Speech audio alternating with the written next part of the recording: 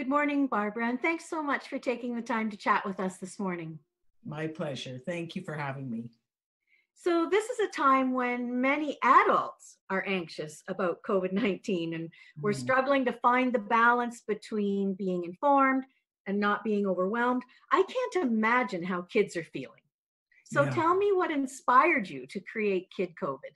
Well, I have a special friend who's turning five soon, and I would visit him regularly and play with him. And uh, we now have to do it through computer land. And uh, he says, I want you to visit me, Barbara. I want to see you and play. And then he stopped and his eyes rolled up and he went, When the virus is gone. And that got me thinking, this must be very confusing and scary for children. And my I wanted to I wanted to comfort my friend and to make him laugh and and learn learn to empower him. So he gets he can learn to protect himself from the virus and maybe other people like grandparents. So that's inspired the book. So, tell me a little bit about the process of gathering the information because you want to make sure that you've got the facts right yes. and yet being able to present it in an easy and non frightening way. Well, number one, get the facts right. So I went back to the government of Canada and, and what uh, we must do to protect ourselves. And I made a list. And then I had a lot of fun.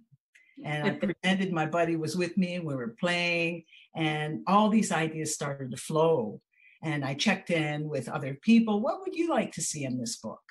And, and then we had we had some funny things like the hockey stick, stick suit that kept them two hockey sticks apart and the toilet paper was very popular. And so then you you sort of create a storyline and then you create the illustrations to go with it. well in this case um, uh, uh, the it's a little reverse. I i would actually get a, a, a strong vision in my head um, of uh, seeing uh, the hand sanitizer spray and the movements almost like spider-man um, so i paint that image and then i take it from there. So this was the very first image of uh, that's the the front of the book and that's the kid or a kid covid. And i wanted bouncy uh, shoes so that the character can spring out of the virus's way. Um, and then the hand sanitizer spray and the mask and something occurred to me when i drew the character it's like the character started to talk to me and the the character told me not to use any pronouns. The most pronoun, I don't have he, I don't have she. I have the kid or kid COVID because I really wanted all genders, whatever, to identify with being the hero. So that was an interesting discovery for me. Now this isn't your first book. You're a longtime artist, author, illustrator, educator. What's been the early response to this one? this is interesting. Um, I I got a fan mail a long time ago from uh, a fellow who had uh, grown up with one of my earlier children's books that, that was published by Annick. And he said, "I'm I'm get this book for my my twin daughters." So I looked him up and I said, "Here's a new book. Please share it freely."